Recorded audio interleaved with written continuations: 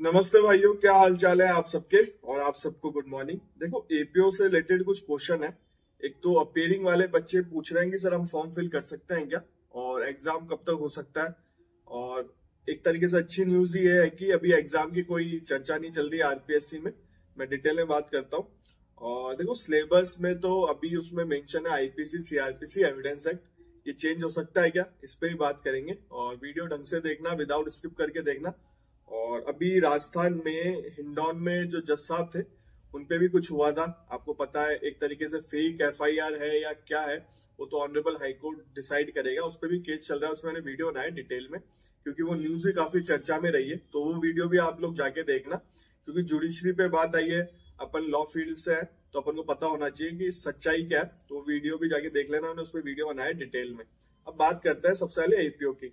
देखो एपीओ का एग्ज़ाम बता देता हूँ जो बच्चे एग्ज़ाम के लिए आए कि सर एग्ज़ाम होगा कि नहीं होगा, मैंने पूछवाया था एपीओ के लिए आरपीएससी में पूछवाया था मैंने, और काफ़ी बड़ी पोस्ट पे है वो जिन्होंने पूछा था, और उन्होंने यही बताया कि अभी तक कोई चर्चा नहीं चल रही आरपीएससी में एपीओ एग्ज़ाम कराने के। और देखो प्रूफ भी होता है, अभी तक सिलेबस अपलोड नहीं किया उन्होंने। एपीओ का सिलेबस वैसे तो अमेंडमेंट होके आ गया था, अगर आपको पता नहीं है तो देख लेना जाके, मैंने वीडियो बना रखा है, मैंने बता भी रखा है सिलेबस चेंज भी हो चुका है। तो अमेंड होके आ गया था। गवर्नर साहब ने अमेंड कर दिया था सिलेबस और फिर पब्लिश हो गया था, उसके बाद नोटिफिकेशन आ गया। और रूल्स भी चेंज हो गए थे एक्सपीरियंस हटा दिया प्री मेंस ऐड कर दिया। इंटरव्यू नहीं है एपीओ में, अब प्री मेंस ही होगा। मेंस में क्या आएगा, किसी को नहीं पता आइडिया क्योंकि फ़र्स्ट टाइम मतलब पेपर तो लॉ से रिलेटेड ही आएगा, हिंदी इंग्लिश का किसी को आइडिया नहीं है कि हिंदी इंग्लिश में क्या आएगा। या ऐसे आएँगे, या कुछ और आएगा ट्रांसलेशन आएगा, क्या आएगा, किसी को नहीं पता। तो अपन तो यही कह सकते हैं कि प्री के लिए आप ग्रामर को फोकस करो, हिंदी इंग्लिश की, और मेंस के लिए आप ऐसे ऐसे तो आप आरजीएस की तैयारी कर ही रहो तो ऐसे पे फोकस कर लो। तो ये सारी चीज़ें चल रही है। तो पेपर आपके पास अभी टाइम है, समय है। समय मान के चल सकते हो, साल के एंड में भी हो सकता है, अगले साल भी हो सकता है, या इलेक्शन के बाद कुछ अपडेट आए। मैं इलेक्शन के बाद पूछवाऊँगा वापस कि अभी कोई अपडेट चल रही है। तो चैनल से बने रहना, आपको मैं बता दूँगा। अभी एपीओ एग्ज़ाम से रिलेटेड कोई चर्चा में नहीं चल रहा, और अभी तक सिलेबस आया नहीं है। इसलिए हिंदी इंग्लिश का सिलेबस, मेंस का क्या रहेगा, किसी को कोई आइडिया नहीं है। और प्री में भी अभी आइडिया नहीं है कि प्री में भी क्या पूछेंगे। वैसे ग्रामर ही पूछना चाहिए 99 परसेंट ग्रामर के चांसेस है। हिंदी इंग्लिश में ग्रामर ही आएगी। अब देखो, बात आती है अपेयरिंग वाले। अपेयरिंग वाले पूछ रहे हैं कि सर, उसमें ऑप्शन आ रहा है कि फॉर्म फिल कर दें क्या? तो देखो अपेयरिंग का ऑप्शन आ रहा है तो फॉर्म फिल कर दो। ऑप्शन अगर उन्होंने दिया है तो फॉर्म फिल कर दो। फिर एक ने मुझे कमेंट करके बोला, सर, मैंने पूछा था आरपीएससी में कि वो फॉर्म रिजेक्ट कर देंगे। तो देखो, ऐसी बात है अपेयरिंग का ऑप्शन आ रहा है तो फॉर्म फिल कर दो। गलत इन्फॉर्मेशन मत डालना। अपेयरिंग ही डालना परसेंटेज परसेंटेज मेंशन मत करना कि आपकी क्या परसेंटेज है वो, क्योंकि जो फॉर्म फिल कर रहे हैं, उसे परसेंटेज पूछ रहे हैं। तो आपके अपेयरिंग का ऑप्शन आ रहा है, उसमें कि आप अपेयरिंग हो तो आप फॉर्म फिल कर दो। रॉन्ग इन्फॉर्मेशन मत डालना, अपनी परसेंटेज गलत डाल दिया, ऐसे ही डाल दिया कुछ। रॉन्ग इन्फॉर्मेशन मत डालना, क्योंकि अभी एग्ज़ाम डेट आई नहीं है। आप फ्यूचर में आप पास आउट हो ही जाओगे। उस टाइम तक क्या बता अपेयरिंग के रहोगे नहीं, आप फॉर्म फिल कर सकते हो डॉक्यूमेंट वेरिफिकेशन मेंस के आसपास होगा। तो काफ़ी समय है तो फॉर्म फिल कर देना आप लोग। और जे लोगों का जिन्होंने फॉर्म फिल किया, उनके वैसे ही पैसे नहीं लग रहे। जिन्होंने रजिस्ट्रेशन करवा लिया ओटीआर करवा लिया, उनके पैसे नहीं लगेंगे, एक टाइम ही लगेंगे। जो लास्ट गवर्नमेंट थी, वो कर गई थी। तो ये अच्छा स्टेप था, काफ़ी बच्चे और अदर स्टेट वाले भी फॉर्म फिल कर रहे हैं, क्योंकि उन्होंने जेएलओ का फॉर्म फिल किया था। तो ये सारी चीज़ें तो फॉर्म फिल कर दो, जो एक क्वेश्चन आ रहा है कि अपेयरिंग वाले फॉर्म फिल करेंगे या नहीं करें, कर दो ऑप्शन आ रहा है तो बिल्कुल कर दो, क्योंकि अभी एग्ज़ाम डेट का कोई पता नहीं है। अब बात आती है कि आपको पढ़ाई कैसे करनी है, क्योंकि ये क्वेश्चन मैं वीडियो इसलिए बनाया है क्योंकि ये क्वेश्चन आ रहा है इंस्टाग्राम पे, फिर रिप्लाई करने में बहुत समय लगता है मुझे तो मैं सोचता हूँ कि वीडियो बना के बता ही दू, क्योंकि इंस्टाग्राम पे पूछ रहे हैं तो बच्चों के मन में डाउट है। देखो, हिंदी इंग्लिश के आपको ग्रामर की बुक लिया मैंने वीडियो बना रखा है, बुक लिया वो अगर बुक नहीं मिलती तो कोई सी भी बुक ले लो, शॉप पे जाओ। आप देखो, उसको पढ़ो वहाँ पे। आपको समझ में आ रही है इजी लैंग्वेज में, क्योंकि ग्रामर तो सेम ही है।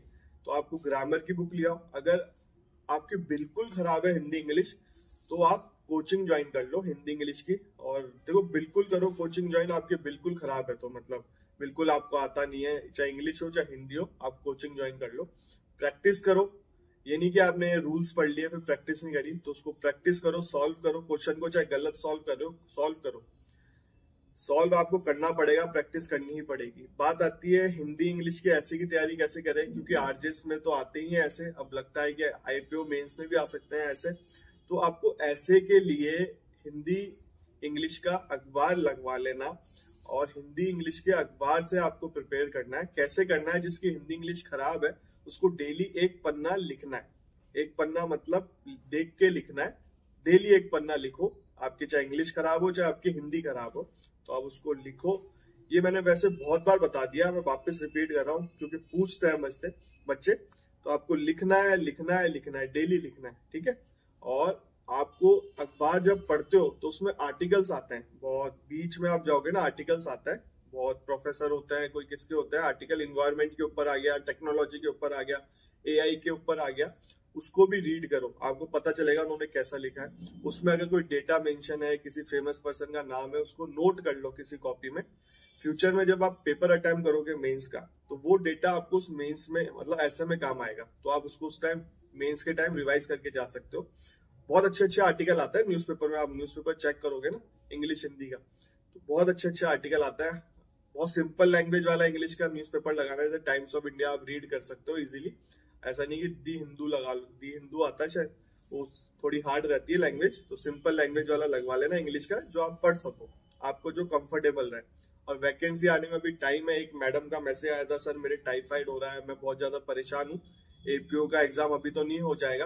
तो मैंने उनको कह दिया था कि अभी टाइम है आपके पास अपना टाइफाइड रिकवर करो तबियत खराब हो जाती है तो तबियत पे फोकस करना चाहिए। पढ़ाई होती भी नहीं है जब तबियत खराब रहती है तो अच्छी तरह रिकवर करो, उसके बाद आप कवर कर लोगे। तो ऐसे परेशान नहीं होना चाहिए। चलती रहती है लाइफ यार, देखो सेलेक्ट हो गए तो ठीक है, नहीं हो गए तो आगे बढ़ना, कोई और जॉब पकड़ना, नहीं तो प्रैक्टिस करना या फर्म ज्वाइन करना, नहीं तो बिज़नेस करना। परेशान नहीं होना चाहिए लाइफ ऐसे ही चलती रहती है। और वैकेंसी अभी नहीं हो रही, क्योंकि आप कोचिंग वाले बोल रहे होंगे कि आ जाएगा, इस टाइम आ जाएगा होने वाला है, वो तो अपनी सीट भरना चाहता है तो उसका मैं कुछ नहीं कर सकता। अगर एपीओ की आपको टेस्ट सीरीज़ ज्वाइन करनी है तो मुझे आप कमेंट कर देना है इंस्टाग्राम पे मैसेज कर देना, मैं आपको एक टेस्ट सीरीज़ बता दूँगा, और मैं अपना कोड बता दूँगा, वो यूज़ कर लेना, उससे आपको डिस्काउंट हो जाएगा। प्रमोशन नहीं है, कोई पेड प्रमोशन नहीं है, मुझे उसके कोई पैसे नहीं मिल रहे, पहले ही बता देता हूँ मैं आपको। तो मैं बता दूँगा, क्योंकि वो मेरे किसी जानकार के हैं, काफ़ी अच्छे बच्चे हैं, सब एनएलयू के हैं इंटरव्यू दे हुए हैं जुडिशरी के और मेहनत करके कोचिंग चला रहे हैं और काफ़ी बढ़िया लोग हैं। सब एनएलयू के एनएलयू पास आउट है तो उनकी फैकल्टी मेहनत भी करते हैं वो।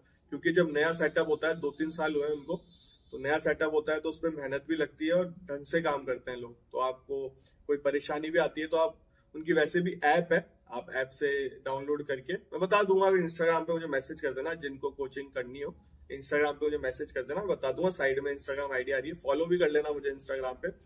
आपके कोई भी डाउट हो लॉ से रिलेटेड मुझे मैसेज भी कर सकते हो। हाई लो मत लिखना डायरेक्ट क्वेश्चन लिख देना, मुझे जैसे समय मिलेगा रिप्लाई कर दूँगा।